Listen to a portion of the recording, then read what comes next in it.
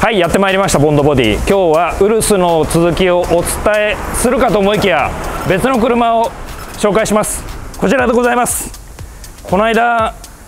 ちょっと近づきたくないって言ったばっかりの続けてのゴーストでございます。なんとこちらの車のカスタマイズシリーズが始まります。はい近づきたくない。はい。そしてですねこちらの車なんと今回またまたマンソリーが始まっちゃいます。でちょっと車の方をちょっとご紹介させていただくと、えー、ロールスロイスの、えー、ゴースト、えー、シリーズ2.5僕もちょっと詳しくないんで詳しい方がいたらコメントいただきたいんですけれどもシリーズ2の後期的なちょっと一番新しい現行の一番新しいやつみたいです。はい。で前回ご紹介させていただいたゴーストと違って、まあ、ヘッドライトとかバンパーの印象がちょっと変わったりとか、いろいろあるみたいなんでまずこのベースとなる車をちょっと見てみたいと思います。でなんかブラックバッジ。なんか各所が黒くなるオプションだかパッケージだか入ってるみたいでこのスピリット・オブ・エクスタシーが黒くなってたりだとかあとグリルがこうスモークのグリーンになってたりだとかはい。そんな外観になってます。そしてヘッドライトもなんかちょっとファントムか。ファントムチックなちょっと異形のヘッドライトに。そしてバンパーも3分割のダクトがついたバンパー。これがなんか2.5の外観みたい。ですそしてそれに合わせてなんかこのグリルとかボンネットの形状も若干変わってるみたいです。そしてマンソリー。フルマンゴーストにしては珍しい。ボディカラーがなんとシルバーっていう。今まで結構白とか黒が多かったんで今回これかなりかっこいい車になるんじゃないかなと思います。そしてですねホイールはま標準なんですけれどもスペーサーがもうすでに装着されてるみたいでもう純正ホイールなんですけどパッツンパッツンのセッティングになってます。そしてローダウンも若干施されてるみたいです。そして横に回っていくと、まあ、この辺のエンブレムが最初から黒かったりだとか、はい、あとはこの窓枠も最初から黒かったりだとか、はい、で、まあ、随所にメッキが残ってるんで、まあ、マンソリー取り付けと同時に、まあ、この辺ラッピングとかペイントで、えー、一緒にカスタムしていくみたいです、はい、そして後ろもパツンパツンでございます。もうなんかノーマルで十分いかついんでこれマンソリーになったらどうなっちゃうんでしょうっていうそんな感じです。で後ろはそんなに多分一生僕詳しくないんで分かんないですけど変わってないんじゃないかなっていう。テールランプがちょっと。とあとバンパーのこのマフラーが出てるやつと出てないやつと、はい、それがなんか年式によって若干違うかなって、はい、そんな感じでございます。そしてですねこちらの車なんと中がすごいんでちょっと中を紹介したいと思います。中がすごいんです。こちらでございます。じゃーん。もう訳が分かりません。これ黒ですかね。黒とグレーの、はい、ツートンのレザーでなんとステッチが水色ライトブルーという。そしてこの上のパネルはこれどうなってるんでしょうか。もう僕には分かりません、はい、そして中見てくださいこのヘッドライナー。そうです。噂で120万円するというオプションのスターライトヘッドライナーがついてございます。120万円じゃなかったらすいません。はい。これはですね持てます。はい。悪そうだけど持てます、はい、もうすごい内装が。もう完全に後ろにあのオーナーさん乗られる仕様になってるみたいで助手席はめっちゃ前に出てます。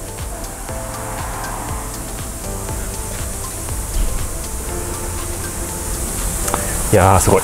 はいというわけで今回はこちらのゴーストシリーズ2.5がなんとマンソリーフルマンになるわけなんですけれどもえー、ちょっとこの後エアロも届いてるみたいなんでちょっとその辺も見てみたいと思います、はい、ものすごいでかい箱なんですけど中身は意外に入ってなかったっていう。でエアロのキットの内容としてはバンパーとあとサイドスカート、えー、リアバンパーっていうそんな感じになると思います、はい、でまあ一応ラインナップ的にはボンネットだったりだとか、えー、細かいパーツなんかもあるんで、まあ、さらにそういったパーツを付け加えることもできるみたいです。そしてですねちょっと毎回忘れちゃうんで言っといた方がいいなと思ったのが、えー、マンソリーコンプリートカーそれぞれ名前が付いております。今回のロールスロイスゴーストの名前がなんとありません、はい、今回これないんですね、はい、普通のマンソリーゴースト、はい、そんな感じでございます、はい、残念ながらシラクーサとかベナタスとかそういう名前はなかったです、はい、なんと今カメラマンに教えてもらったんですけどこのピンストライプもオプションだそうです。僕一瞬シールかと思ったんですけどなんとこれ全部手書きでビーって引いてるみたいです、はい、でもなんかこれ結構装着率というかこれ入ってる率高い気がしますけど。はい。これもなんかとてつもない値段がしそうです。で本当にしつこいほど何回も何回も言ってるんですけどマンソリーのエアロパーツ全部ドライカーボン製になるんで、まあ、非常に強度があってそしてこれだけ大きなパーツでもフィッティングが完璧っていう、はい。まあ、ちょっと高いだけありますね。でマンソリーよく価格についてコメントいただくんですけれども、えー、ちょっと価格の方がメーカーの方で公表というかホームページの方に掲載してないんですね。なんで、まあ、ちょっとお伝えしたいところなんですけども、えー、ちょっとメーカーの意向の方でそういう風になってますんで、えー、まあ価格、まあ、取り付け工事含めてマンソリー販売店までお問い合わせいただければ、ま、お見積もり等々できますんでお気軽にお問い合わせください、はい、そして今回取り付けさせていただくバンパーなんですけれども一応4種類ゴースト用はあります、まあ、前回もお話しさせていただいたんですけどもここのライトの形状が丸か棒かそしてここのダクトがあるなしで好みによって選ぶことができます。ちょっと他のエアロパーツも出してみましょう。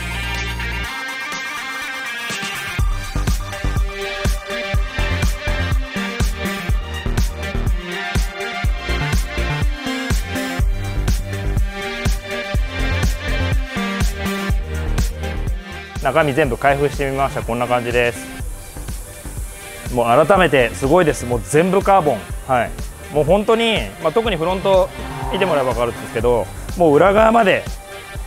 もう完璧な作り込みでございます。そして、えー、ボンドグループ発注したものに関しては全部この細川のラベルも実は貼ってあるんですね。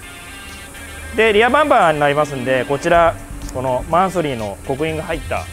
マフラーカッターも、はい、左右ついてきます。そしてこちらがトランクスポイラーですかね。はい、ここにおそらくマンソリーのロゴが入るんじゃないかと思います。そしてこちらがフロントバンパーでございます。はい。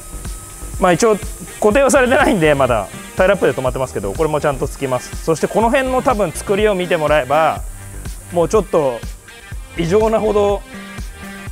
クオリティが高いのが分かっていただけると思います。本当になんかスーパーカーとかハイパーカーのカーボンパーツ。はい。そんな雰囲気です。そして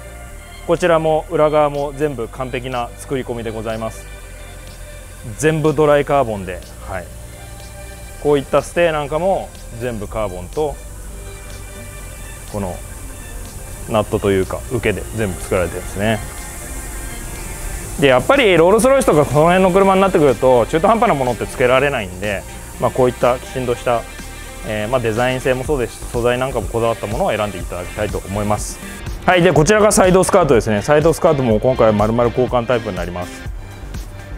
純正のちょっとのぺっとしたサイドスカートじゃなくてちゃんとこのラインの入ってなおかつ真ん中多分ここも塗り分けかなんかになるんじゃないかなと思います、はい、で今回ボディがシルバーなんで多分カーボンパーツ塗り分けてところどころ残すとかなりアクセントになってかっこいいんじゃないかなと思います。ちょっと今カメラマンのコメントを丸パクリすると、えー、このタイヤからだんだんプレスラインがついてってダクトになってるっていう。はい。なんかすごい造形。はい。これも全部当然ドライカーボンなんで全部型にこう当てて型を作って型に当ててまあ成形してるんですけれども、はい、本当に非常に手の凝った、はい、そんなデザインと作りになってます。はいというわけで今回はもうめちゃくちゃかっこよくなりそうな予感がプンプンしてるロールスロイスゴーストシリーズ2.5シリーズ第1回目をちょっとご紹介させていただきました。で今回ご紹介させていただいたそのエアロの取り付け以外に、えこのグリルの縦の部分だったりだとかあとこの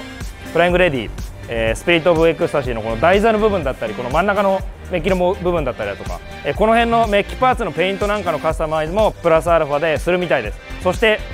ホイールも当然変わっちゃうみたいです。その辺はちょっと追ってご紹介させていただきたいと思います。でこの動画をいいと思ったら高評価とチャンネル登録もぜひよろしくお願いします。最後までご視聴ありがとうございました。